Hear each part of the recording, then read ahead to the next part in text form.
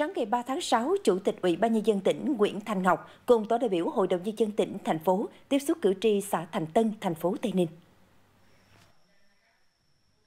Tại buổi tiếp xúc, cử tri xã Thành Tân có nhiều ý kiến liên quan đến các vấn đề như xây dựng nhà máy xử lý nước mảng cầu xã Thành Tân, đầu tư ứng dụng công nghệ cao trong sản xuất mảng cầu trên địa bàn xã,